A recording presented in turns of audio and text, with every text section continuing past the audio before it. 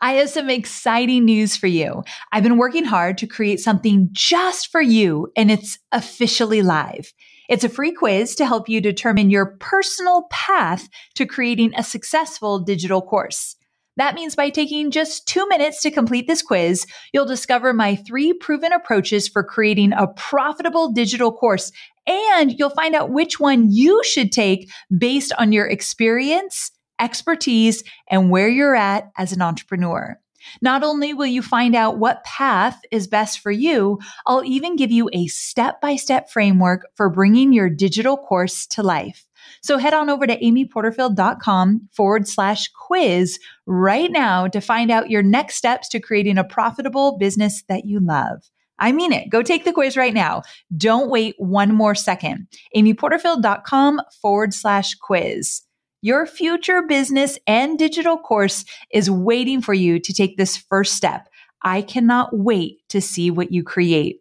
So amyporterfield.com forward slash quiz to get started creating your stellar and profitable digital course. All right, let's jump into today's episode. When you send a message in a pitch, when you send a message, there's only one objective of sending a message. And that objective is to get someone to return your message. That's it. You should not be leaving a full pitch of credibility, emotional attachments, quantifying reasons, impacts, and capability. Too many people are selling on a message, even in person, in an initial conversation. It's just to get their interest, right? To stimulate interest with the pitch. So then you can transition interest and share the vision. A pitch's purpose, the perfect pitch, is to stimulate interest in order to transition interest and share a vision, you're going to have to use collateral material, answer questions, do a variety of different things. But that initial perfect pitch has one goal, and that's to stimulate interest so they ask for more. Or an initial pitch, maybe just to get the pitch, meaning get them to call you back, to ask you back, to email you back, to DM you back, to LinkedIn you back, whatever it might be. We have to realize the sole purpose of that type of pitch is just to get you to come back. I'm Amy Porterfield, ex corporate girl turned CEO of a multi million dollar business. But it wasn't all that long ago that I lacked the confidence, money, and time to focus on growing my small but mighty business. Fast forward past many failed attempts and lessons learned, and you'll see the business I have today one that changes lives and gives me more freedom than I ever thought possible, one that used to only exist as a daydream. I created the Online Marketing Made Easy podcast to give you simple, actionable, step by step strategies to help you do the same. If you're an ambitious entrepreneur or one in the making who's looking to create a business that makes an impact and helps you create a life you love, you're in the right place. Let's get started. What if I told you that you could statistically increase your chances of selling your product or service, even if you're just starting out or you've been struggling with selling? Well, today I have five proven steps to help you do just that. Basically, today's episode is a step by step for fast tracking you from struggling with selling your product to selling like a pro, all by perfecting your pitch. Now, I couldn't talk about pitching without inviting the pitch expert of all experts on the show, and his name is David Meltzer. Now, let me tell you a little bit about this guy. And I say just a little because if I were to list all of his phenomenal achievements, we'd be here a while. David is the co-founder of Sports One Marketing. Hobie was very impressed with that, by the way, and formerly served as CEO of the renowned Leigh Steinberg Sports and Entertainment Agency. His life's mission is to empower over 1 billion people to be happy. I mean, this is a really good mission, right? Now, his mission has led him on an incredible journey to provide unparalleled value through his content and communication. And you'll see what I mean in this episode. David is also an expert when it comes to crafting a pitch that sells. And today he's sharing his five to thrive for creating the absolute perfect pitch. These are five tangible steps you need to implement into your pitch to make it actually sell and to make an impact. And yes, if you're listening to this, that pitch may just well be on a webinar. And one thing I love to do is I love to learn from people that are having success in different areas. And I want them to tell me how they get that success. And then I apply it to my own business for my own unique way of doing business. And that's exactly what we're going to do here today. Here's what I want to do with this episode. Listen to the steps and then stick around until the very end because I'm going to jump back on solo after the interview and I'm putting these steps into actionable steps that will work for you as an online entrepreneur or more specifically as a digital course creator. And by sticking around until the end, you'll also get to hear David's absolute number one tip for selling and building a successful business and is really good. So I won't make you wait any longer. Let's bring on David. Welcome to the show, David. I am so thrilled to be back with you again, and I can't wait for you to share your knowledge with my audience. So before we get started though, will you give everyone a brief intro, just a little bit about your background? Because I think they're going to find what you've got to share very interesting. Oh, I hope so. I uh, have an eclectic background uh, involving two currencies. One is the currency of money because I just wanted to be rich to buy my mom a house and a car. And the other is a currency of faith. Uh, which blends in that, which I came to the awareness of later in my career in my 30s, but uh, started out with uh, six kids, single mom in Ohio, just wanting to buy her a house and a car because only time I wasn't happy was when there was financial stresses, not enough money, food, something broke down, summer camp. Uh, my mom had a saying, doctor, lawyer, or failure. I was the only sibling that didn't follow that. I wanted to be a professional football player, but very swiftly, very swiftly, I realized as I got ran over my first play in college uh, and laid on my back and decided doctor, lawyer, failure. Tried to be a doctor. I was pre med. And then my oldest brother, who was a doctor, gave me the best piece of advice. He said, be more interested than interesting when I told him I hated hospitals. And so I changed my entire trajectory of my life to start asking questions and learning about things instead of just completely being driven by how much money I could make. Uh, although I did go to law school uh, through that interest, uh, was going to be an oil and gas litigator. One of the advantages of wanting money is that it always kept your options open because most people limit their point of entry. They limit their vision. They limit their ask. They limit themselves when you only want to make money, one of the advantages looking back is that I was always keeping my options open to how I could make more money. And because of that strategy, I got offered a sales job out of law school besides a litigation job. Uh, the sales job was to, in 1992 to sell legal research on the internet. And uh, at the time, my mom literally said to me, I better be a lawyer because the internet was a fad and I destroy everything I'd worked for if I go through the internet. Uh, oh man! second lesson of that journey is just because someone loves you doesn't mean they give you good advice. Yes, those are two great things I learned. Anyway, I took the sales job. Nine months out of law school, millionaire, branded myself an internet guru. We sold that company for $3.4 billion in 95. Wow. Went to the Silicon Valley, learned how to raise money. So I raised hundreds of millions of dollars and ended up the CEO at 30 of the world's first smartphone with Microsoft and Samsung. It was called the PCE phone. And I thought I had everything. I went from living in a world of not enough where I was a victim, everything happened to me and why me to this world of uh, just enough for me. I had everything for me. I was buying things I didn't need. I was buying more things I didn't need, different things I didn't need. But more importantly, I was buying things to impress people I probably didn't even like. But yet money had always bought me happiness and, and love. And uh, I ended up becoming an investor, an entrepreneur. I met Leigh Steinberg and, and became the CEO of the most notable sports agency in the world, Leigh Steinberg Sports and Entertainment. And in that experience, surrounding myself with celebrities, athletes, entertainers, billionaires, millionaires, entrepreneurs themselves, uh, in my dream job, for the first time, I wasn't happy. And uh, I, through 2006, started realizing that I was lost through help of my wife, who made it very clear that I was lost.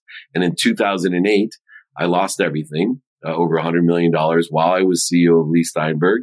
And in 2010, I started a sports marketing company with Hall of Fame quarterback Warren Moon with a different trajectory, not just to give so I could get, no more trade negotiations, not living in the world of just for me.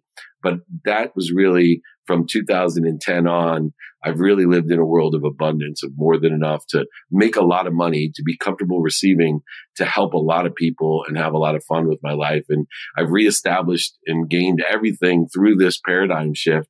And, uh, last three years have built my own brand. As you know, I have two TV shows, Elevator Pitch, the two minute drill, which has been picked up by Bloomberg and multiple other places around the world now.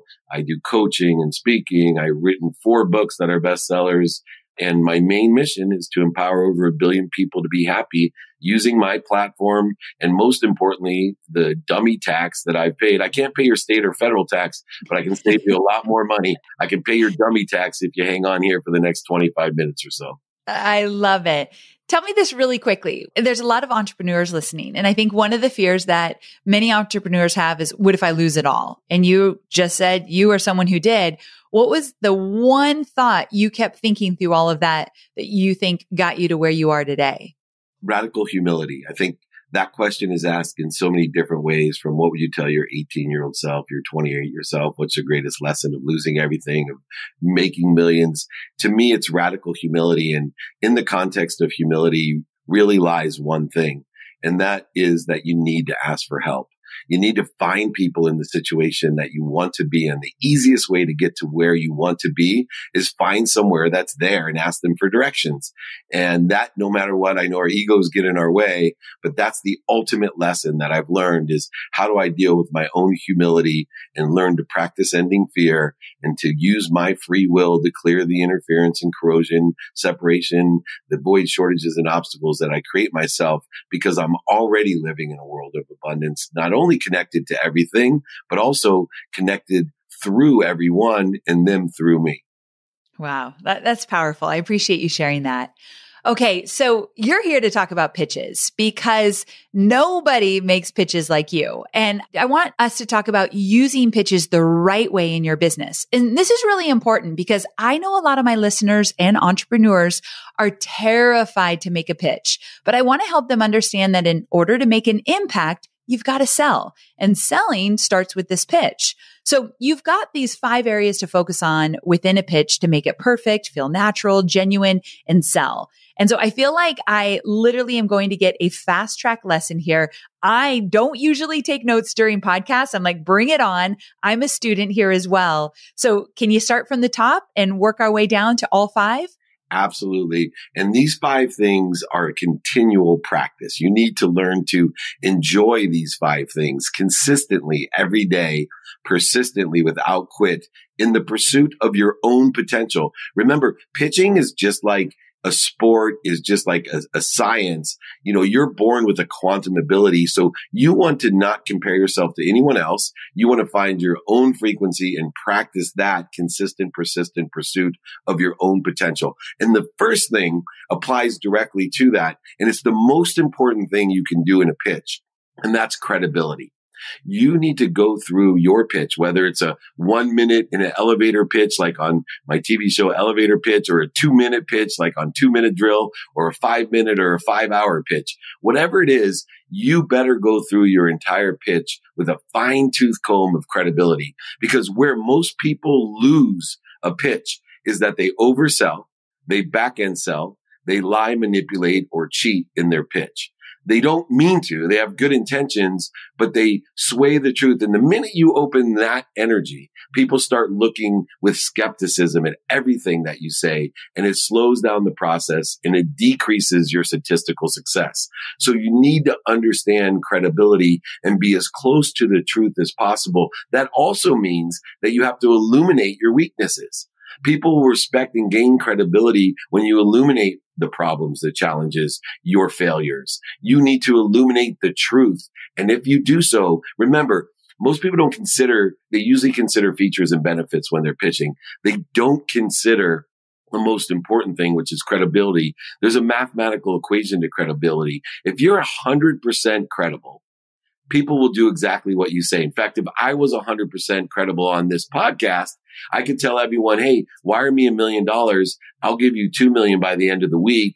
And everybody would do so if I was 100% credible. Now, I've never reached that potential, but I work and practice to it every single day. And the more that you practice, the more clarity you get, the more balance, weighted balance of your values, the more focused you are. And remember, it's not what you say. It's what people hear. Lou Holtz, the coach of Notre Dame, used to say that all the time about his football teams. It's not what I say. It's what they hear. Credibility is what they hear.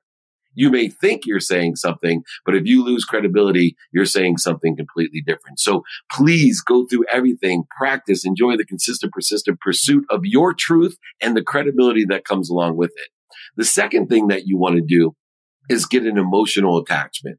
I told you the lesson in my background of being more interested than interesting and having an emotional attachment. People buy on emotions for a logical reason people buy on emotion. And what we don't do a lot of times when we're pitching is do enough research to find out what people like and what they don't like. We don't do enough research. We're not more interested than interesting to find out what they're doing today and what they like about that and what they don't like about it. We don't do enough research or interest to find how do I make myself equal and then allow myself to appreciate the difference. Appreciate means add value to the difference, not create a separation, void, shortage, and obstacle by creating attacking thoughts or judgments or conditions upon the differences in some comparison that sucks the energy, the emotions out of it but instead gain the emotion, gain the attachment because people buy on emotion for illogical reasons. The best example of this is when I was young.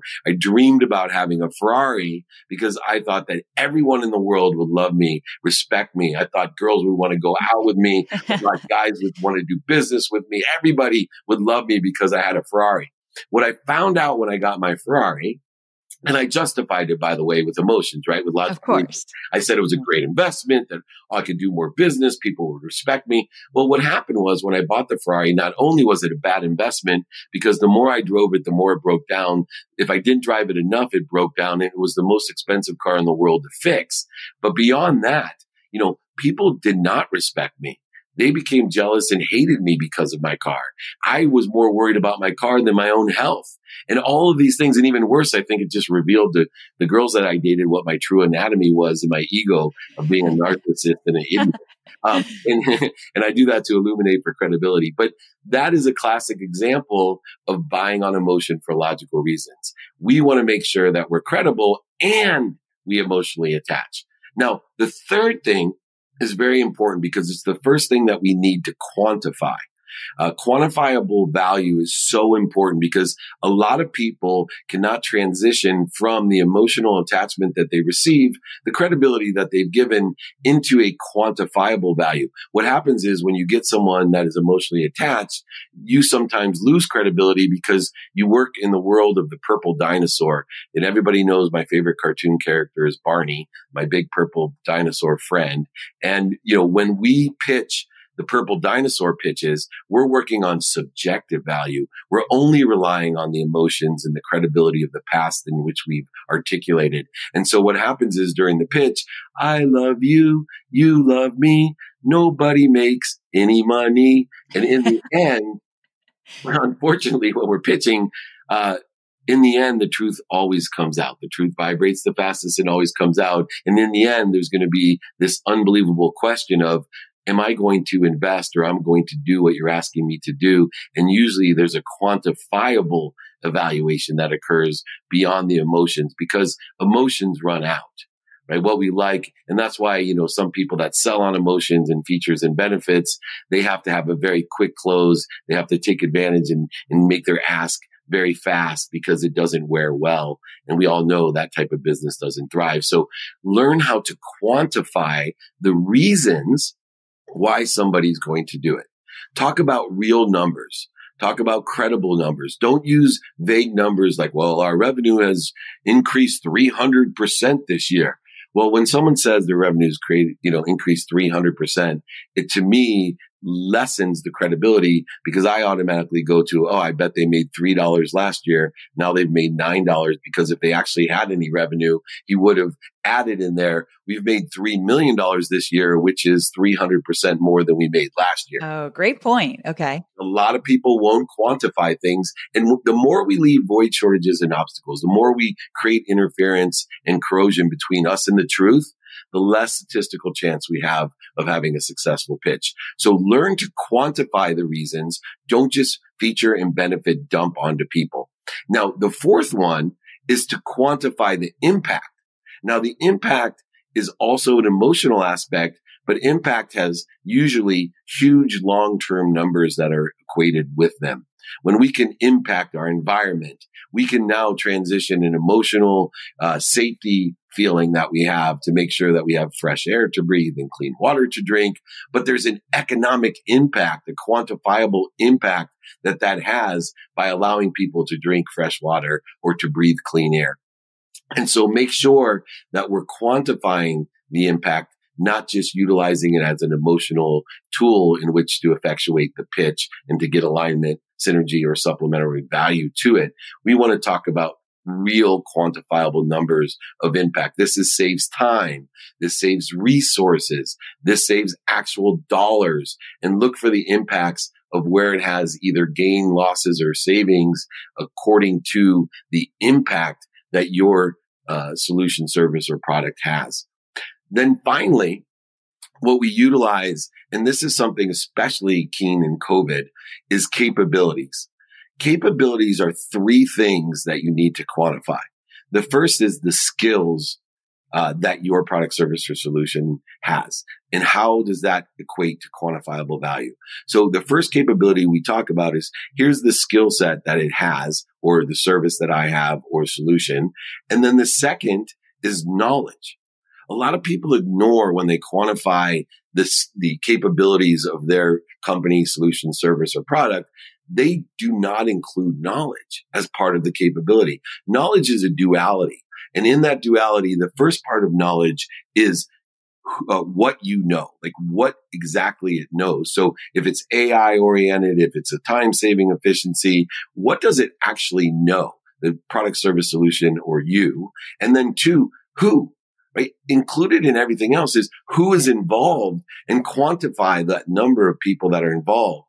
You know, we want to make sure that we use realistic numbers. Uh, when we're doing things, you know, some of the biggest turnoffs when people are quantifying their, we're the next Google, we're the next Uber, we're the next, no, no, quantify the numbers quantify the reasons, impacts, and especially the knowledge that you have both of the what and the who and combine those together.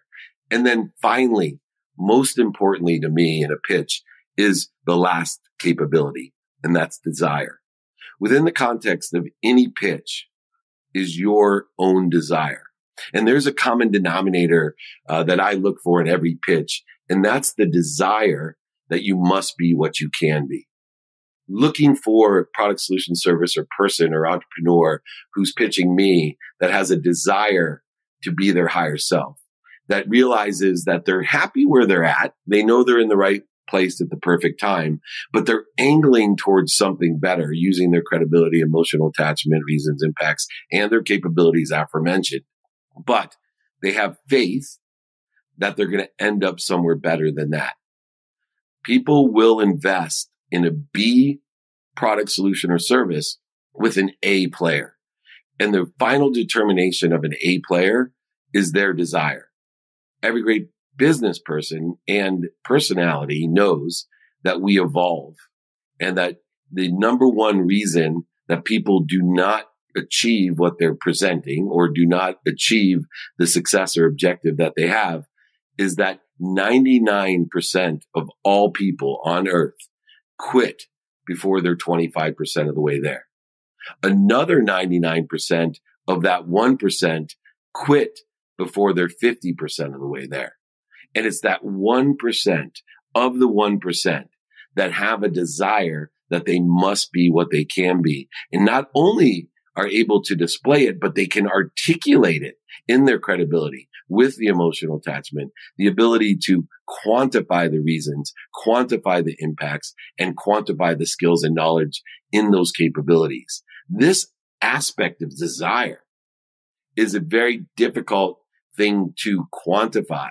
But if you can, if you can, and I, I've had pitches from people and I, I stop listening because all I think to myself is, I'm investing in this person because nothing's going to stop her. My favorite entrepreneur ever was on my TV show Elevator Pitch.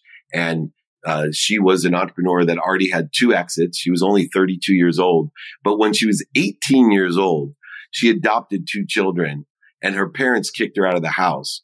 But she knew that's that what she must do to find her higher self. And there was a 12 and 11 year old little boys that she adopted at 18 because she felt it was the right thing to do. She had two exits already. I knew no matter what product solution or service she was talking about, that she would make it happen because she was able to quantify to me this unbelievable thing called desire and that higher self that's involved. And within this pitch comes the ability to practice. And how, how do, how do we do that? Now, a lot of people realize there's four ways that we practice. One is in person. One is on the phone. One is via email, believe it or not. And then one is via media. And you need to realize that a pitch occurs in all four of these mediums. It occurs in person, less than it used to today. It incurs on the phone. I think the biggest uh, piece of advice that I can give to people is to be tough and use a telephone in your pitch. Uh, it's a lost art. If you don't believe me, go look at how many voice messages you have on your phone compared to text messages, emails, DMs, etc. They're not even close. If you want to get someone's attention, then you should use the telephone to pitch them because your voice has a vibration it has a frequency. It can create intonation, connotation, intonation, uh, and intention where so many people are using text messages, DMs, emails to pitch people. Uh, you know, I'll tell you so many times, nobody buys on a message. Nobody buys on a message. There's only, when you send a message in a pitch, when you send a message, there's only one objective of sending a message. And that objective is to get someone to return your message. That's it. You should not be leaving a full pitch of credibility, emotional attachments, quantifying reasons, impacts, and capability. Too many people are selling on a message, even in person, in an initial uh, conversation. It's just to get their interest, right? To stimulate interest with the pitch. So then you can transition interest and share the vision. A pitch's purpose, the perfect pitch, is to stimulate interest in order to transition interest and share a vision, you're going to have to use collateral material, answer questions, do a variety of different things. But that initial perfect pitch has one goal, and that's to stimulate interest so they ask for more or an initial pitch, maybe just to get the pitch, meaning get them to call you back, to ask you back, to email you back, to DM you back, to LinkedIn you back, whatever it might be. We have to realize the sole purpose of that type of pitch is just to get you to come back. Now, here's another thing to practice in the context of pitching. When we call someone or ask them in person, there's only two things that can happen. One, the person is available for the pitch, or two, you need to leave a message. We already know the only purpose of leaving a message is to have someone call you back. But the other side is we have to be prepared and practiced. If somebody says, yeah, I'd be interested right off the bat, they actually answer the request in person or on the phone or via email or uh, via media. And so we have to practice all four mediums and get to choose which one of those mediums we may be best or most statistically successful at performing at and being able to do these five different things of a perfect pitch. But if you can create credibility with a fine tooth comb, if you can know that you have the emotional attachment that people will buy on emotion for logical reasons and give them those logical reasons based off quantifiable value, not Barney purple dinosaur value, but quantifiable reasons, impacts and capabilities, which includes not only your skills, not only your knowledge, but most importantly, be able to illustrate and communicate your desire, you will have statistical success, efficiency, and effectiveness in every pitch, and you will attract via that frequency more and more people with open minds. Remember, we are seeking people with open minds. Sometimes we are I said it earlier, limiting ourselves so much that we're looking for that. You know, I love when people tell me, I'm looking for a strategic investor. I always tell them, well, you're looking for an open minded investor and you should have two categories of investment. One for people that you don't want to involve strategically and one that you do. But your objective of raising money is to raise money regardless of whether the person is strategic or not. And so we need to find people with open minds and not limit ourselves because it takes as much energy to pitch someone with a closed mind as it does a thousand people with an open mind. So we want to make sure that we are asking the right people and sending out the right frequency for those pitches with people with open mind. I appreciate the opportunity to share these five perfect pitch tips and I'm happy to ask any further questions, Amy. So good. Thank you so much. Wow. That was like power packed and you are one of the best communicators I've ever had on the show. So Wow. I do have one quick question for you. And that is you've talked about the triple A before alignment, action, adjustment. And I really want my listeners to hear about this. Can you dive into that real quick? Yeah. And it stems from the advice my brother gave me that be more interested than interesting. There's a joke in, in sales that 80, 80% is collecting, right? 20% is selling, 80% is collecting. The same thing's true with the AAA strategy. 80% of your time should be getting alignment, being more interested than interesting, finding the open mind, seeing where the emotional attachment would be, being and being able to illuminate and align synergistically and supplementary with what value you can provide. 80% of your time should be spent getting alignment and then take action. And while you're taking action, it's kind of like that philosophy. Like I said, be happy where you're at at the right place at the perfect time, angle to what you want, but have faith that you'll end up somewhere better.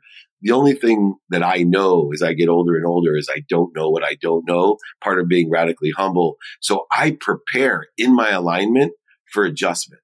I am prepared to adjust. I'm not going and being happy where I'm at right now and going straight to what I want. I'm angling towards what I want with alignment and adjustment in mind. So 80% of your time should be spent being more interested than interesting to get alignment. Then the law of Goya applies, which means get off your ass and take action. Nothing happens until you move. Go study Einstein if you don't believe that. Amen. and then while that action's a subset of action or activity for me is to have radical humility and prepare for adjustment and the best place to prepare for adjustment, like we said earlier as well, is to find great mentors. You know, find someone that's already where you want to be and ask them for directions. I'm going to repeat that, everyone. The big lesson, the big takeaway, find someone who is where you want to be and ask them for directions. It's the fastest, easiest way to get there. It's the dummy tax that you don't have to pay. Forget federal and state taxes. I know our politicians are going to argue that for the next 26 days. Just think about the dummy tax of what you would have gained if you didn't make those mistakes by just simply asking someone that is where you want to be how to get there. Ah, such a great way to end this episode. Thank you for that. I one 100% wholeheartedly agree. So thank you, David, for being here and tell my listeners where they can find more about you. Well, as you know, my mission in life is to empower over a billion people to be happy.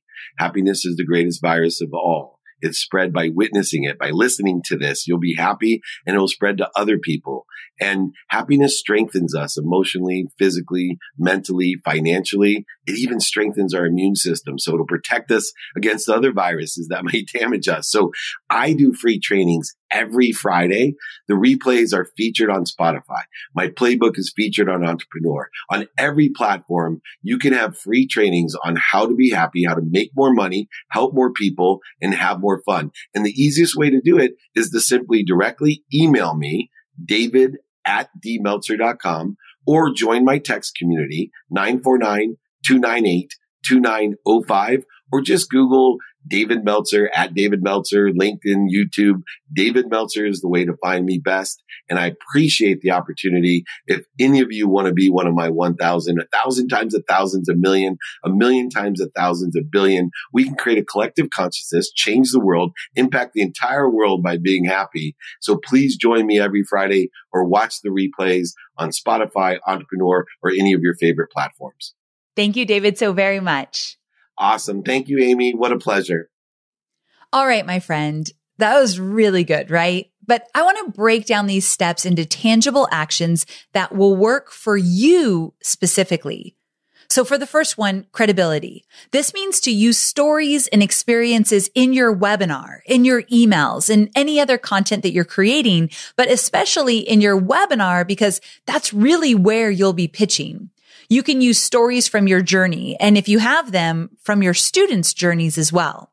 The second one, emotion. This means that you should speak to your audience's wants and needs. So get really clear on their wants and needs and talk about those in your emails, on social, and on your webinar.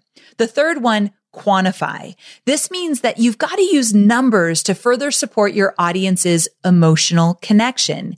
That means that when you're sharing stories, give actual numbers when it's appropriate. For example, you can share how your process has helped others increase their followers or subscribers by XYZ numbers and give them the exact number or percentages. So for example, let's say that you are a social media manager and you created a digital course to teach others how to use social media. When you're telling your success stories, talk about how you've helped them grow their followers by X number. Like actually give specifics when it's appropriate. So it makes it more real. Also, just share details as much as you can to bring it to life. Now, fourth, impact. This means that you have to share clearly about your pathway and how it's going to offer them more or less of something. For example, the Digital Course Academy roadmap in my program. I offer it in my Digital Course Academy course. It helps my students to save time and frustration in creating and launching their digital course.